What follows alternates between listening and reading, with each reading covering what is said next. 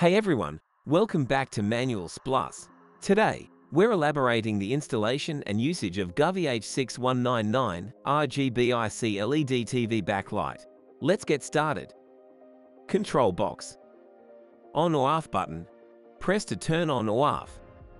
Color button. Press to adjust the color. Music or dimmer button. Press to enter music mode. Long press to adjust the brightness. Indicator light. A red light indicates the device is not connected to the network. A blue light indicates the device has successfully connected to the network. No light indicates the device is not powered on or malfunctioning. Indicator light. A blue light indicates the camera is powered on. A dim light indicates the camera is not powered on or might be broken. Installing your device. Preparation before installing. Unbox the strip lights and check all items listed in the packing list. Power on the strip lights and check whether they light up. Installing steps. Wipe the installation surface to ensure it is dry and clean. Stick the strip lights to the back of the TV. Press them firmly and then reinforce them with the provided clips. Position the camera to the top center of the TV. Insert the cable of the strip lights and the camera into the control box. Ensure that the control box is in a proper position near your TV. Power on the strip lights and try connecting them with the Govee Home app. Pairing your device with the Govee Home app. Download the Govee Home app from the App Store in iOS devices or Google Play in Android devices.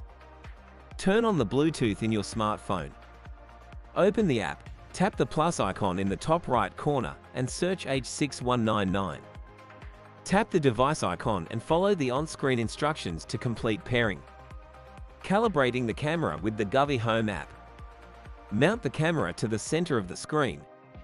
Stick the form stickers to the seven calibration points on the screen. Open the Govee Home app, go to the settings page, then tap calibration.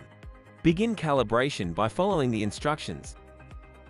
Drag the seven calibration points to the position points. The picture will distort under the fisheye camera. Ensure the calibration points are chosen correctly and the calibration lines do not overlap or cross each other. Controlling the device with your voice.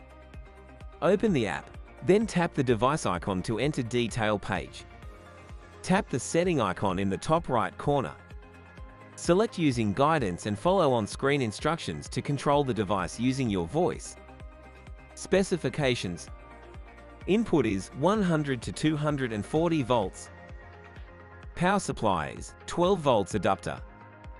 Length is 2, 3 feet from left or right, plus 3, 94 feet from top or bottom. Lighting color is RGBIC. Control method is app BLE plus Wi-Fi. Thanks for tuning in with Manuals Plus today. If you found this guide helpful, be sure to give this video a thumbs up and subscribe for more handy tutorials. Catch you in the next video.